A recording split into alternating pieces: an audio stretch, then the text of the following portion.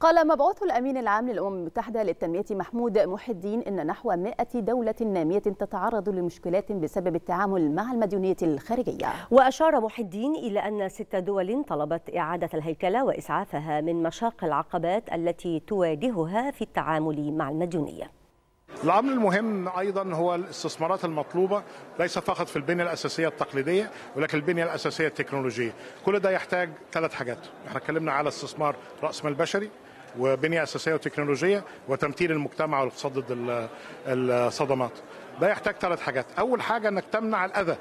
بأنه هذه المديونيات المتراكمة التي تتعرض لها عدد كبير جدا من بلدان العالم وفقا لتقدير الأمم المتحدة أن هناك 100 دولة نامية تتعرض لمشكلات متفاوتة في عمقها وحدتها حول موضوع التعامل مع المديونية الخارجية.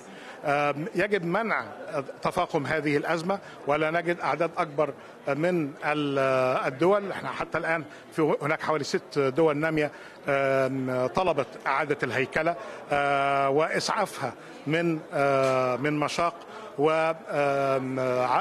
والعقبات التي تواجهها في التعامل مع المديونية.